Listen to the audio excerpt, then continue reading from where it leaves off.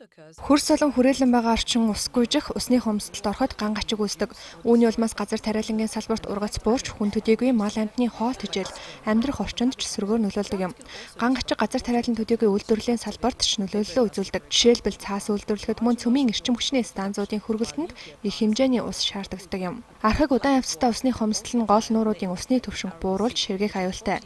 Тухайлбал Төв Азид, Казахстан, Узбекистан улсын хооронд орших Араалын тэнгист сүүлийн 40 жилийн хугацаанд ширгэлж явагдаж өдгөө тэн хагас нь ширгээд байгаа юм. Мөн урт хугацааны турш хурд тундасны хэмжээ буурах нь ган гачгийн нэгэн шалтгаан болдог. Хойд Европ, Америк нэгдсэн улс зэрэг дундаж цаг уурын бүс оршдог улс орнуудад жилийн дундаж хурд тундасны хэмжээ өндөр байдаг бол газрын дундад тэнгис Африкт бага байдаг юм. Ган гачиг нь хөрсний гадрах төдийгүй гүний усны нөөцт ч нөлөөлж байдаг.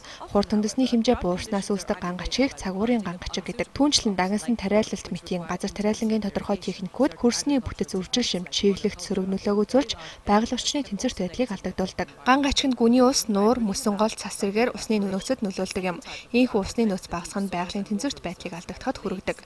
Түүнчлэн хэдийгээр хурд тундасны төвшин хэвийн эсвэл өндөр байгаач хүний хүчин зүйлээс шалтгаалan ган гачиг нүүрлэж болдог. Гол усны голдор амьдралыг хүчээр өөрчлөх нь үүний нэгэн жишээ юм.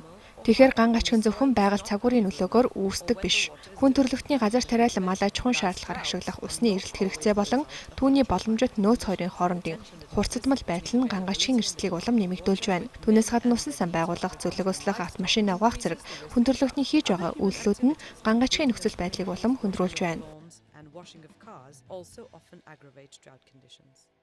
Thank you